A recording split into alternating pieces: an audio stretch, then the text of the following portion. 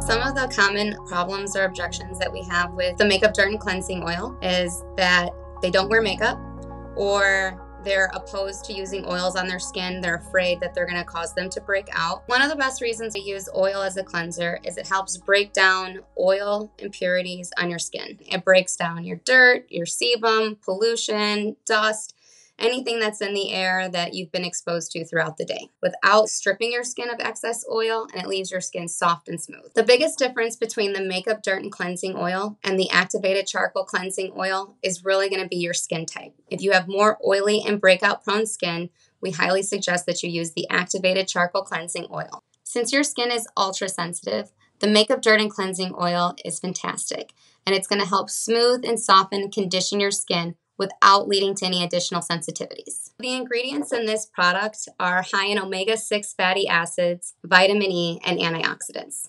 Cleansing the skin is very important, and at night we typically recommend dual cleansing with the makeup dirt cleansing oil and then followed by the rose water cleanser. This helps make sure that you're going to bed with squeaky clean skin.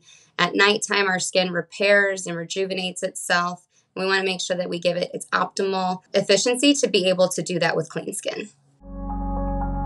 Our rosewater cleanser is the safety net It makes sure that all of the grime and dirt and bacteria from the day are gone. It doubles as a hydrating blemish control if you're breakout prone, and the rose water is excellent for reducing redness and inflammation in the skin.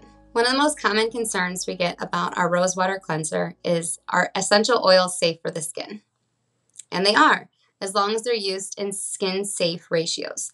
All of our formulations, all of the essential oils used are for their skin nourishing benefits and properties and not specifically for their scent.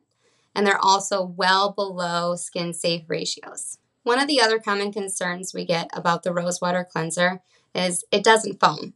And how does that work for my skin?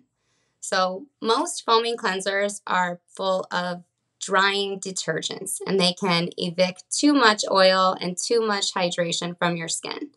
Our rose water cleanser is a non foaming cleanser and it helps remove um, water based impurities from your skin without stripping your skin of excess oil. The rose water cleanser is great for your skin type, ultra sensitive. It can help reduce inflammation and redness in the skin.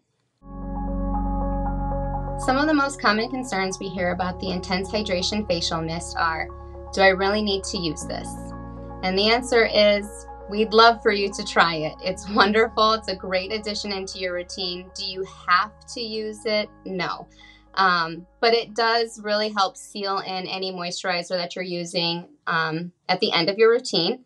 It is also very calming and uplifting, and it deeply nourishes and moisturizes the skin. Another common concern or question that we hear is how is this sealing in my moisturization? And it's sealing in the hydration of your skin.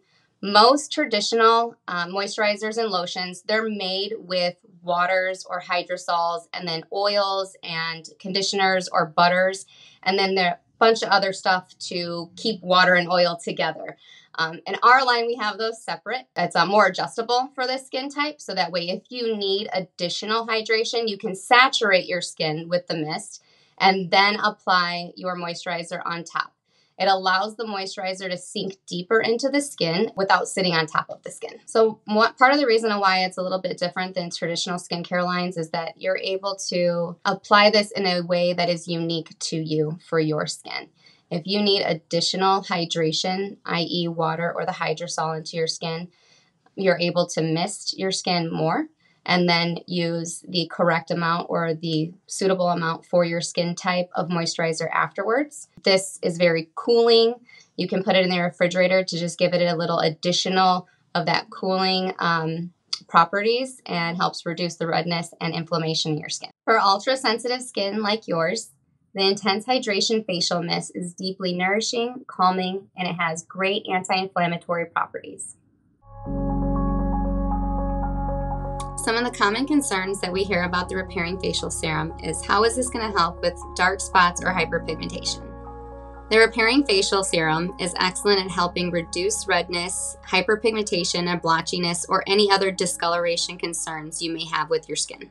Another common question we hear about the repairing facial serum is why is this the last step in my routine and why wasn't I recommended another moisturizer. For skin that is mature or more dry, we recommend using the Repairing Facial Serum as an additional layer of hydration and moisture before adding in your final moisturizer. For ultra sensitive skin like yours, the Repairing Facial Serum is going to help reduce the redness and blotchiness that your skin may have.